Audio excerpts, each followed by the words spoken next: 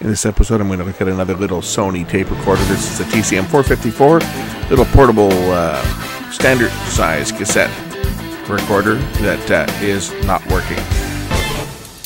So I've got another one of these little tape recorders. This one's a TCM 454 VK.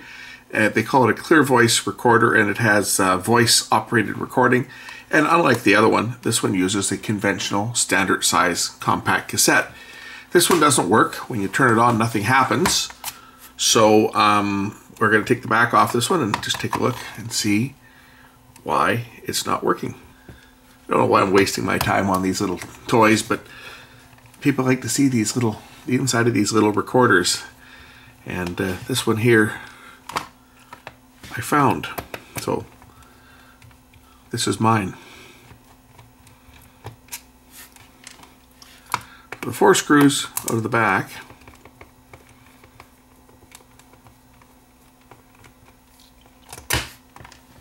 See, this one's got a speed control too. You can change the speed on playback.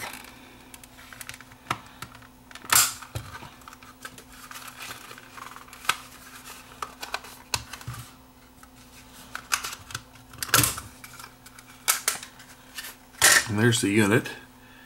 Doesn't look like the belt is broken although it didn't do anything when I put batteries in it. Makes things a lot easier when you're dealing with devices like this. Just use the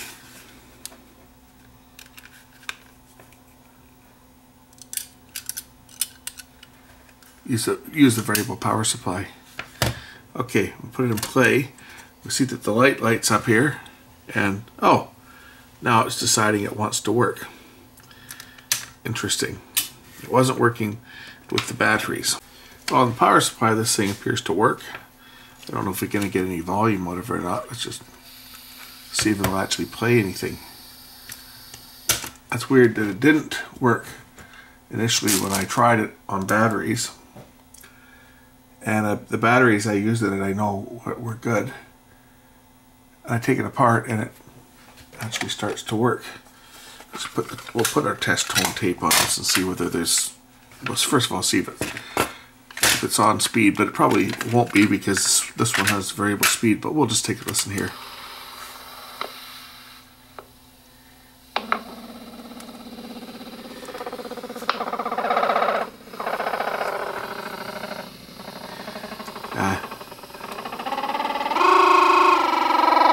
We have a problem. Listen to that.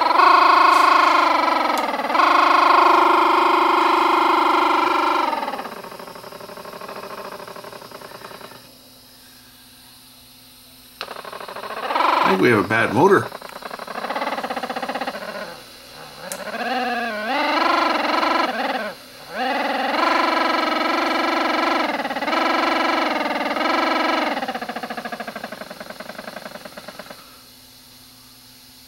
Oh yes. See, stopped. I think this motor has a flat spot. Certainly not sounding very good, is it? If I put a tape on with music, it's going to sound horrible. But we'll just do that just so you guys can hear how bad this thing sounds. I think we have a bad motor on this unit, which is unfortunate. Look at the way the tape is moving, how slow it's moving.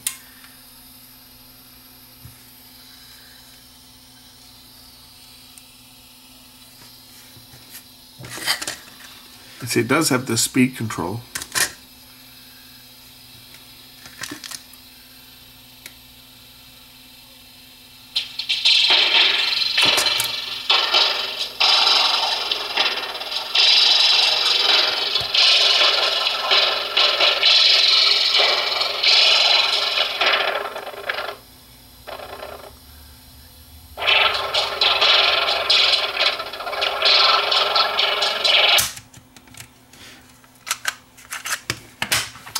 I have a feeling the problem with this is the motor is shot.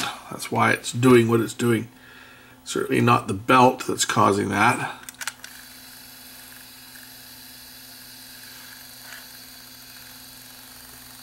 You can hear the motor. Listen to the noise it's making.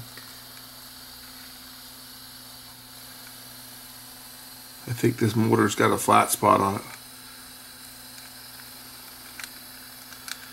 Now we can certainly crank the crap out of this motor and see whether I can spin any sense into it.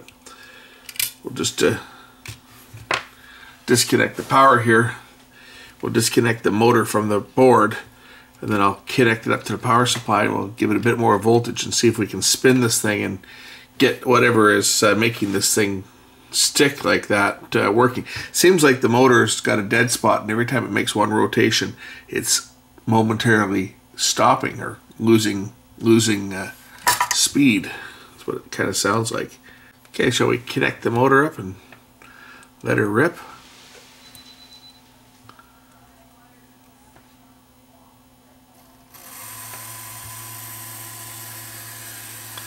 How fast can we make this thing go? Oh yeah.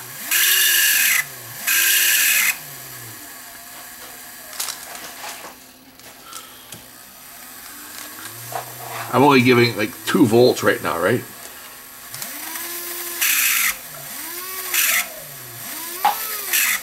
What I'm what I'm thinking I might be able to do with this motor is uh, if, if it's just a bearing that's sticking, I might be able to uh, spin it fast enough that I can actually free up the bearing. I, I, I highly doubt it, but that's the plan anyway. If I can maybe even take it out of here, I might be able to get this motor just to free up just a little bit. Maybe I can get some lubricant in there into the bearing itself. I'm holding my breath though, but hey, you know, it's one of these little cheap tape recorders that uh, not worth anything. But uh, we'll still see if we can resurrect this thing. I'm going to drop the chassis. We got a couple of screws on this side.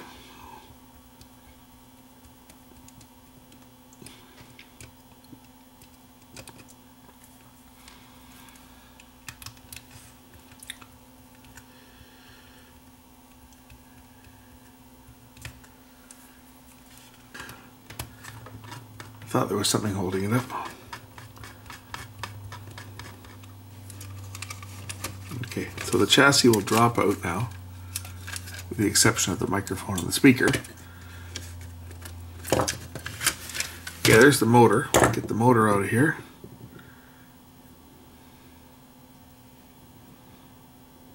But I'm curious to whether I'll be able to get a little bit of uh, lubricant down into the bearing itself and spin it. See if I can get that that noise. And that seems like it's got like a flat spot. I don't know if you can hear it when I spin it, but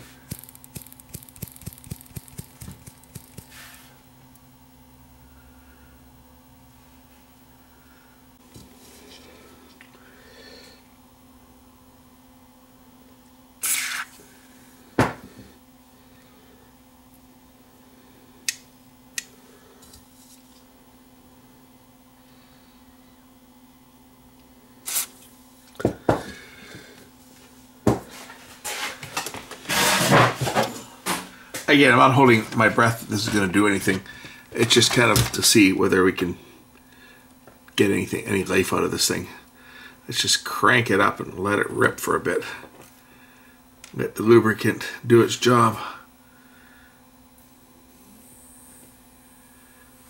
Okay, it's running. Let's spin her up.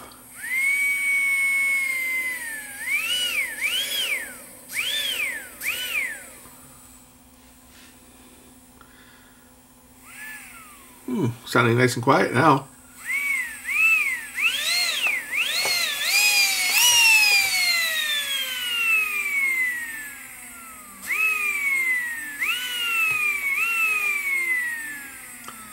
I gave it like 10 volts there. I don't think it's designed for that kind of voltage, but sounding a lot, uh, a lot better than it was. Okay, let's see how slow it will spin. So there, 0.4 volts is what I'm giving it. And it's actually turning. Now I'm at 0.16 volts. The motor is still turning. That's 0.0.15 volts. finally it stopped.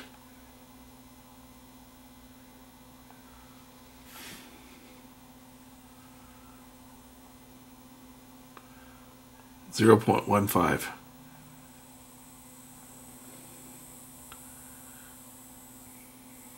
One volt. What I'm going to do is I'm going to just take a Q-tip here and I'm just going to wipe up any of that excess excess lube on here so it doesn't get onto the belt. We'll put this thing back together and see. I just put some WD-40 on it, by the way. That's that's all I used on this thing. I'll be curious to see whether this thing actually will do anything.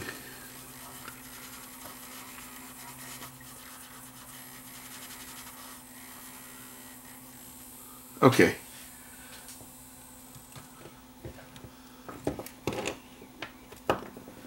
Let's put it back into the chassis again.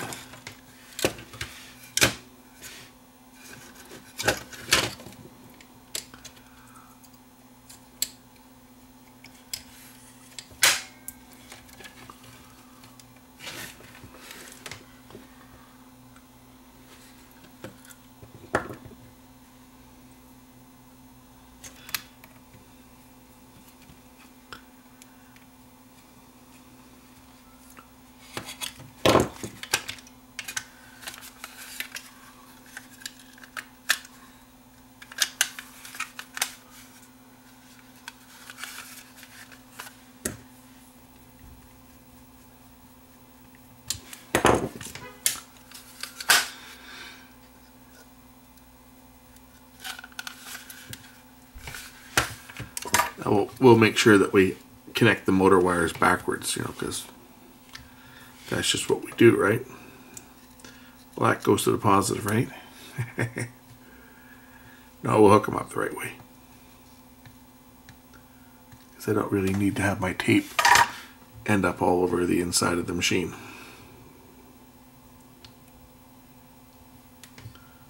Put the belt back on.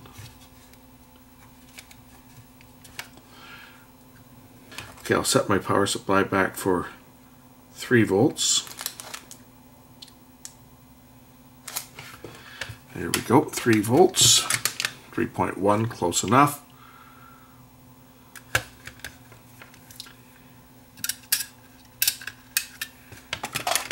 So we go for a tone. And see how bad it sounds now.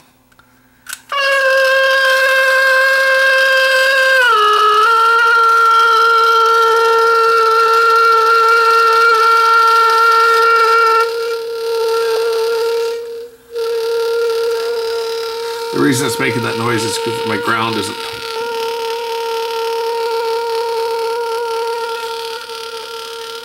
Okay, still not great, but it's a heck of a lot better than it was when we started. When it, uh, well, you remember how bad the music sounded in it the first time, right? Let's uh, take a listen to it this time.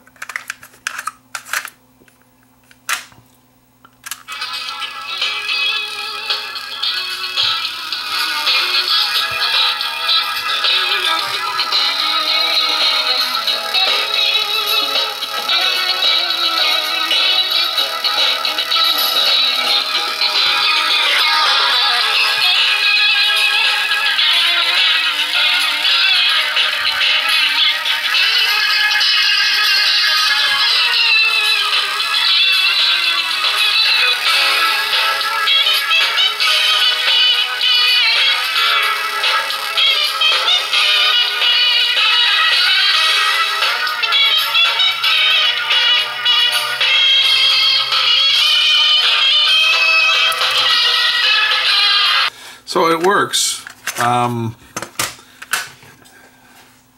that's how you kind of fix a motor that's buggered up. A little shot of WD-40 and run the snot out of it with a power supply. And it, it's made a difference. I'm getting a bit of noise here. That's just because uh, the motor is sparking a bit internally. It's actually getting better. It's not as bad as it was when I first started doing it. But if I load the motor down, you can hear the you can hear the, actual um, sparks being created by the brushes on the motor being picked up by the amplifier. we can test this thing for record on this blank side of the tape for press on record. Testing one, two, three. Hello, hello. How's this thing sound? And then rewind it a bit. Testing one, two, three. Hello, hello. How's this thing sound?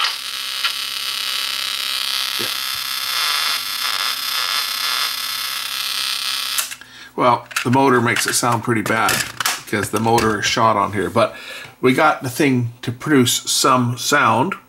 So that's it on this one. That's the end of the, the road for this little unit here. So we say it, it, it works, but it's a bit noisy on the motor, and that's just the motor that's causing that uh, because the the uh, the brushes are basically worn down. You can hear a bit of snap, crackle, pop there when I crank up the volume. Again, for you know, if I play that music tape on here again, it's um, it's not too bad. Which way am I going on here? Goes in this way. It's you know.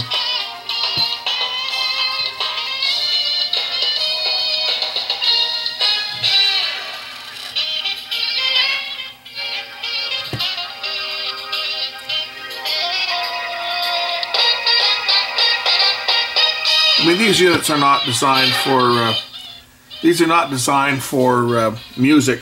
What this was designed for is for dictation or recording. Um, you know, recording uh, lectures and stuff. It has the speed playback, so you can turn it up. Listen to something faster, or listen to something slower. That was this one's claim to fame. It's not sounding too bad now. I got a lot of that noise to go away just by running it. It's just the uh, the, the contacts or the the brushes in the motor are a little bit noisy, and there's not much I can do about that. But I think I will call this uh, a semi-success because it's working in better shape than when I started with it, which it wasn't working at all. Is it perfect? Nope. Is it usable? Definitely. Uh, we'll put this one back together and we'll call this one a victory with no parts needed. Okay, there it is back together. Load a couple batteries in it for one final test to make sure that it still works once I get it together.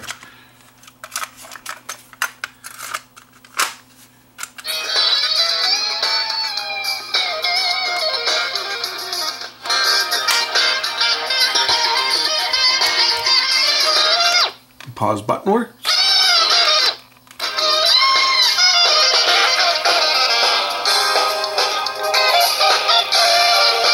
There you go. It's fixed. Saved another one from the uh, scrap heap. Another one to put back into my collection of old little portable recorders. I'm getting quite the collection now of these things. But you know what? They're only worth having if they work. So that's another one to add to my collection of devices I'll never use. But hey, I've got them. Thanks for watching. We'll catch you again in the next one real soon.